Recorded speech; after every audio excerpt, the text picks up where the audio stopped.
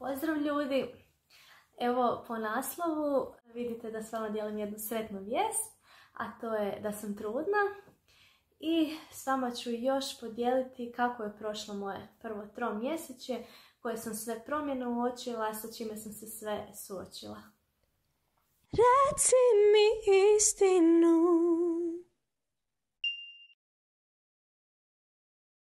Evo ovako, na samom početku htjela bih reći da svjesna sam da se mnoge žene bore sa trudnoćom i sa plodnošću. Neke žene imaju jako teške trudnoće, nekoliko mojih, mogu reći, prijateljica, poznanica, žena oko mene imali su spontane pobačaje i znam da je ova tema dosta osjetljiva i da netko možda neće moći ovo ni gledati ili možda će se prisjećati zapravo te neke svoje teške situacije, tako da se tu stvarno susjećam sa ženama i mogu reći malo sam opreznija bila u samom dijeljenju ovoga, ono, i sama u jednom periodu ono, htjela sam proživjeti barem, ajmo reći, nekoliko mjeseci trudnoće prije nego što podijelim tu vijest javno. A s druge strane, još želim reći da dosta ovih stvari onako bit će neke malo osobnije prirode, ženske tematike, tako da vas i tu odmah upozorim, to je ono ko oni neki YouTube videi, moja prva mjesečnica i takve stvari. Pa evo, možemo krenuti. Ja sam si zapisivala stvari po tjednima, tako da ono, ako me vidite da gledam dolje, to je zbog toga da čitam. Evo, i još da nešto kažem, ovo je moja prva trudnoća, tako da uopće nisam znala što da očekujem. Nekako sam se pripremala za možda najgori mogući scenarij, ali eto, kao što ćete čuti, stvarno meni prvo tromjesečne nije bilo toliko grozno. E sad ovako, kada sam krenula zapisivati je bio peti tjedan i zapravo ono, na samom početku nisam nikakve promjene na svom tijelu primjećivala i peti tjedan sam samo napisala kao ne želim sve šradovati, malo sam oprezna još uvijek i tu negdje mi se desilo nekako prvo jako maleno krvarenje koje je trajalo na možda pola dana ili dan i onda sam ono googlala i znam da zapravo to može biti ono neko implantacijsko krvarenje, tako nešto. Tako da odmah te stvari, ja vam govorim kako sam se ja osjećala i šta sam radila, ali ono, naravno sve moje odluke su uvijek bile u konzultaciji sa doktorom, odnosno sa ginekologom, tako da nemojte mene slušati za neke, da vam ja dajem savjete. E, u šestom tjednu isto sam napisala da sam morala ići češće e, na WC i tu sam isto imala nekako maleno krvarenje gdje mi je ginekolog propisao te neke tablete za čuvanje trudnoće, ali to je stvarno trajalo eto, pola dana i nakon toga je sve bilo ok. Tako da ono, imala sam to jedno iskustvo jedne moje prijateljice koja isto imala maleno krvarenje i sve je bilo ok.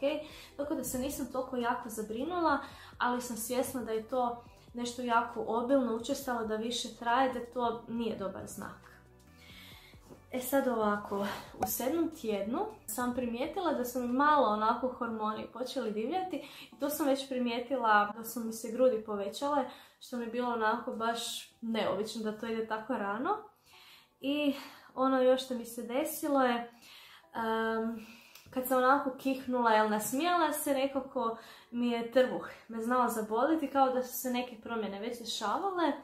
I u sedmom tjednu sam se već malo opustila i tad sam ono željela svima podijeliti. I to je bio period gdje sam ja onako mislila, ok, možda sam ja stvarno trudnica koja nema mučnina, koja će ovo biti ono jedna od 30% žena sa nekakvom laganom verzijom trudnoće. I onda je došao osmi tjedan. E sad, u osmom tjednu su meni krenule mučnine i tu su onako nekako trajale dva i pol dana, tri dana, malo onako se pojave pa prestanu. E, jako nepredvidljive su bile i ono, baš nisam znala čega se dešava. Jednostavno, nekad bi se desilo u neko određeno doba dana, nekad bi se desilo drugo doba dana. Tako da me tu malo onako dekoncentriralo u poslu u svim mojim obvezama. I u devetom tjednu mi se baš to nastavilo. ali čak ono ne bi rekla cijeli tjedan, nego zapisala sam jedan dan. Sam imala mučnine, osim toga opet, znači problemi s mjehurom, svako malo sam morala ići na WC i na mahove sam bila umorna. Tako da ono došla bi s posla i spavalo bi mi se ili malo bi duže ono odmarala, nekakav me umor ulovio.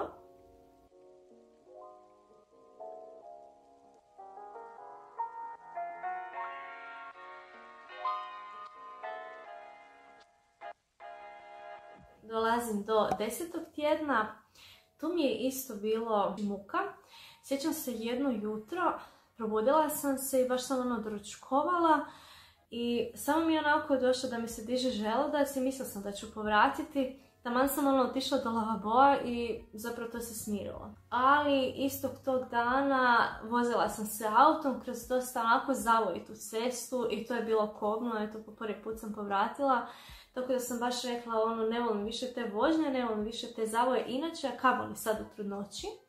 I ono što sam još tu zapisala, sjećam se da sam jedan dan po prvi put čak na večer onako mi se povraćalo, ono najčešće bi to bilo pa ili prije podne ili popodne, ali ono baš dok legnem mi je bilo zlo i onda uzela sam doslovce lavor sa sobom za svaki slučaj ako povratim ili nešto da se sad ne moram ustajati ili slično, no eto nije se tad ništa desilo.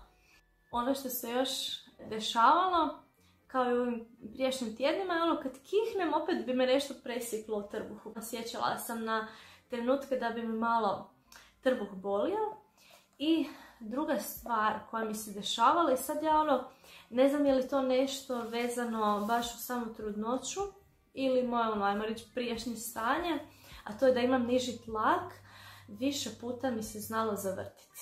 I tu sam si rekla, ono, ne mogu dugo stajati, ok, još ta moćnina, ali jednom sam ono, ha ne bih rekla pala u nesvijest, nego mi se baš zabijelilo ispred očiju. Morala sam sjest, tako da sada pogotovo ovako kad bi išla na mislu, rekla sam neću više klečiti, jer ono najčešće bi mi to tako bilo ako dugo stojim, da bi morala sjest da mi ono nije dobro, ili ako kleknem pa naglo se ustanem da bi mi pao tlak.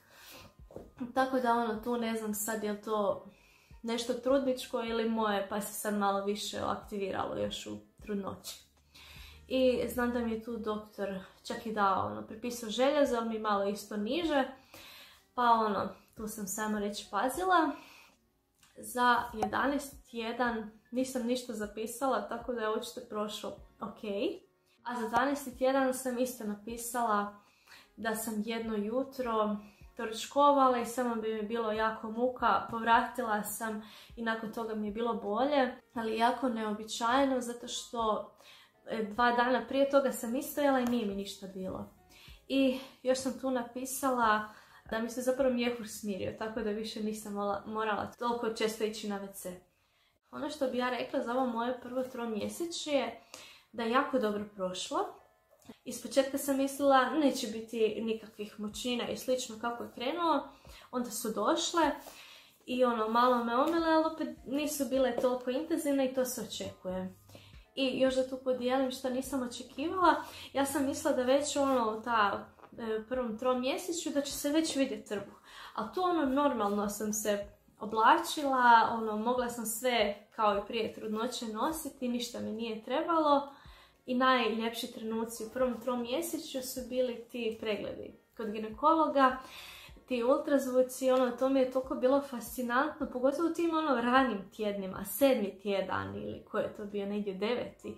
Ono, cijelo tijelo je već maleno, sitno, ali ono već formirano i to mi je ono bilo najljepše. I pogotovo pred kraj prvog tromjesečja, ono kad sam baš malo duže bila na ultrazvuku, vidjela sam srce kako kuca.